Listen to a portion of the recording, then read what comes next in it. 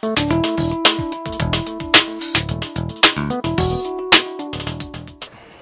my name's uh, Tom Freeman. I'm uh, in the Division of Genetics and Genomics at the Roslin Institute. Uh, and what I'm going to show you today is uh, essentially a program we've been working on now for the last five years, which allows us to uh, essentially visualize data uh, as, as networks. So what you're seeing here is essentially a large amount of data which is derived from a a genomics platform called microarrays and these microarrays allows us to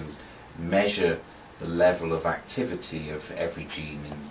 the human body or mouse or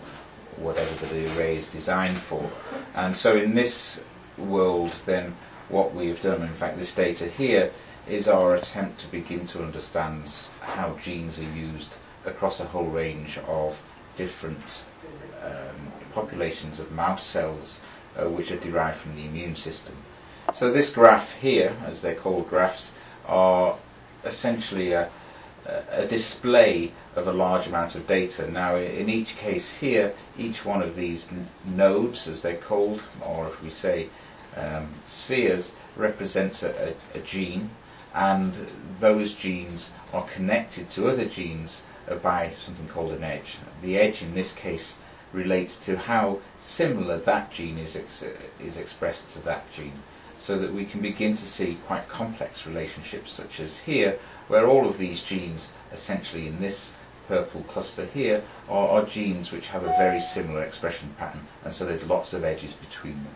So if I was to uh, look at, want to look at some of these genes then I can pull up this second tool within this and this allows me to display a, a given group of genes I'm going to just pick one at random here.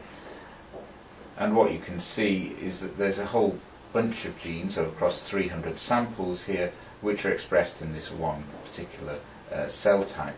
And this begins to tell us something about what those genes might do. And if I click on this side, uh, then I can see the type of genes these are, uh, and this shows the profile of how they're expressed. Likewise, I can move through the graph uh, and begin to see different patterns of expression and these different patterns of expression relate to the functional uh, biology of the, uh, of the genes of interest. What this allows us then to do is have a resource which we can understand something about uh, gene function and their role of these genes in uh, protecting